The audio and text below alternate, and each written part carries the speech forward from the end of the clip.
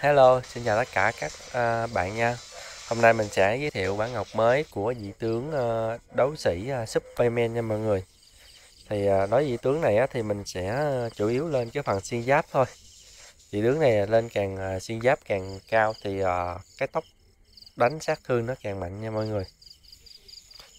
Thì uh, bản ngọc của vị tướng này thì mình sẽ gắn như sau, mình sẽ tháo ra mình gắn lại nha thì đây đây là cái bản ngọc mình chưa gắn. Bây giờ mình sẽ gắn lại anh em xem nha. Thì đối với 10 viên ngọc đỏ đó thì à, anh em gắn cho mình là công nhật lý cộng 2 và xuyên giáp là 3,6 nha. Tiếp theo là 10 viên ngọc tím á, thì mình sẽ lên 5 viên. Công nhật lý là 1,6 và tốc chạy là 1% mình lên 5 viên. 5 viên còn lại á, thì à, anh em lên cho mình là cái tốc chạy đánh tóc đánh là một phần trăm và tóc chạy là một phần trăm nha. Thì đó là 10 viên ngọc tím. Tiếp theo là 10 viên ngọc lục. Thì à, mình lên đúng 10 viên. Công vật lý là 0,9 và xuyên giáp là 6,4 nha. 10 viên luôn. Thì đây đây là bản ngọc hoàn thiện. Có công vật lý 37 xuyên giáp 100 tốc chạy là 10% tốc đánh là 5% nha. Thì à, tiếp theo mình sẽ thoát ra mình sẽ à, hướng dẫn cái phần à, trang bị lên đời trong trận đánh nha. Rồi bây giờ mình sẽ vô phần trang bị. Thì đây là cái trang bị của vị tướng này. Nếu mà thường thường á người, người ta khi mà đi vị tướng này thì người ta sẽ đi uh, hai cái giáp này trong sông. Hai giáp này nó rất là trâu nha mọi người. Đánh nó rất là đam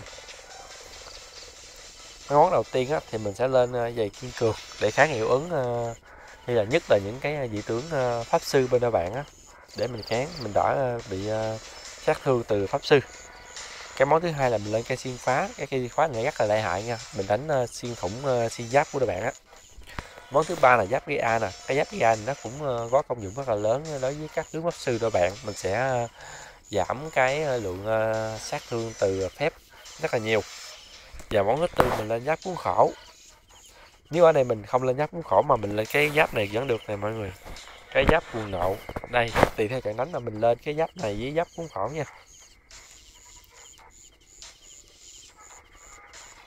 Rồi, món thứ năm là mình lên cái nanh phan cái nanh phan này nó rất là công dụng nha. Nó rất là công dụng cho những cái vị tướng mà đấu sĩ nha. Rất là công dụng luôn. Nó cộng 20 à, cộng 200 công vật lý. Rất là công dụng và cái món cuối cùng là mình lên ờ, cái ờ, giáp phong mạnh nha. Đó đó là cái phần ờ, trang bị về các tinh đồ trong nhà đánh của mình nha.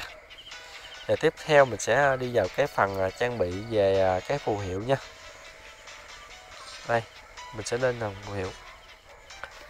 Thì đối với phù hiệu của vị tướng uh, Superman á, thì mình sẽ chọn cái đầu tiên sẽ mình chọn cái thứ ba nha. Xong cái thứ ba nó sẽ hiện ra là tăng sát thương nước tăng sát thương và hồi phục thì mình sẽ chọn cái phần hồi phục nha mọi người.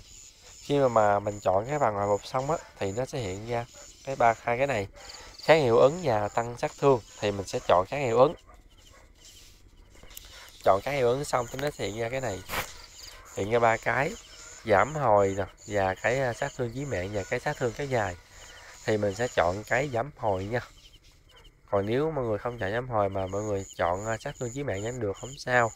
Nhưng mà đặc biệt á, mọi người đừng chọn sát thương kéo dài nha. Tại vì đó, khi chọn cái này vô, đánh nó không có công dụng, nó yếu lắm.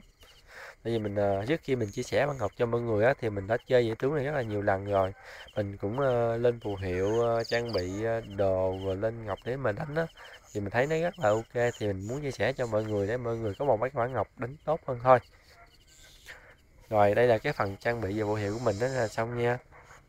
Video của mình đến đây là cũng là kết thúc. Thì uh, mọi người uh, hãy like đăng ký kênh để xem những cái à, bản ngọc mới từ các vị tướng mới để mà mình lắp mới để mà cho mọi người xem để tham khảo nha. Mọi người thấy hay hãy like đăng ký kênh ủng hộ mình nha để theo dõi các video tiếp theo nha. Xin chào tất cả mọi người và các bạn nha. Xin chào hẹn gặp lại tất cả trong các video tiếp theo nha. Xin chào mọi người.